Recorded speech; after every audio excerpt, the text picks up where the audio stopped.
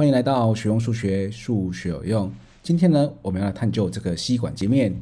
好，在二零二零年有一篇文章就提到了，为什么纸吸管总插不进去，但塑胶吸管可以？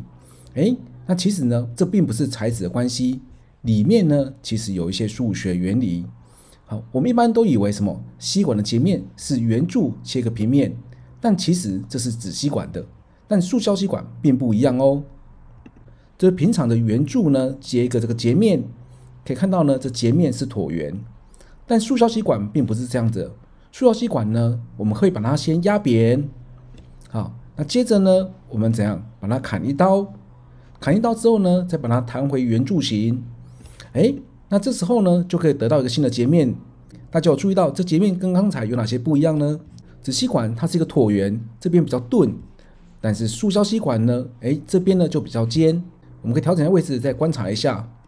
此时就可以看到，塑胶吸管一端是尖的，那纸吸管一端是钝的。再等一下教学，我们就为大家来探究这吸管曲面的探。这次的 GGV 教学主要受到关长寿老师，哎，还有文海平老师作品的启发。